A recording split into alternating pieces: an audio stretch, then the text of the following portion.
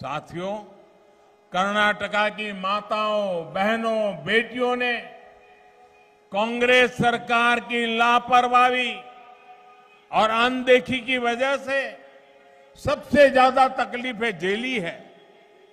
कांग्रेस की सरकारों ने महिलाओं के स्वास्थ्य, सुरक्षा और रोज़गार की कभी चिंता ही नहीं की। पहली बार बीजेपी की डबल इंजन सरकार आयुष्मान भारत योजना लेकर आई।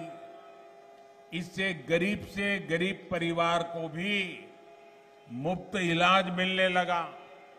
इससे माताओं, बहनों को बीमारी का इलाज ना कराने की मजबूरी से मुक्ति मिली है।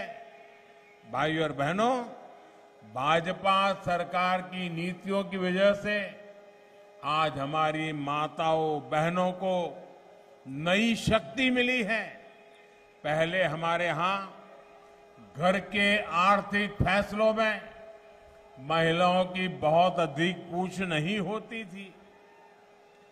भाजपा सरकार ने जब महिलाओं के करोड़ों जनधन बैंक अकाउंट खोले तो महिलाओं का जीवन बदलने लगा।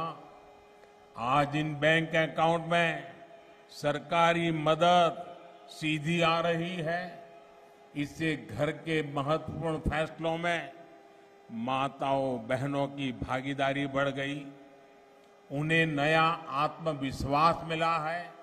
साथियों, कांग्रेस की सरकारों ने महिलाओं को स्वरोजगार से जोड़ने के भी गंभीर प्रयास नहीं किए। ये बीजेपी की सरकार है। जिसने मुद्रा योजना बनाकर लाखों करोड़ रुपए बहनों को दिए हैं, इससे भी बहनों का सामर्थ्य बढ़ रहा है। बहनों के स्वयं सहायता समूहों को भी बीजेपी सरकार ने मज़बूत किया है।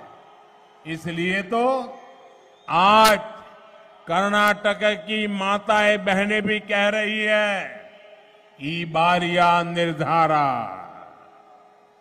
ई बारिया निर्धारा बहुमतदा बीजेपी सरकारा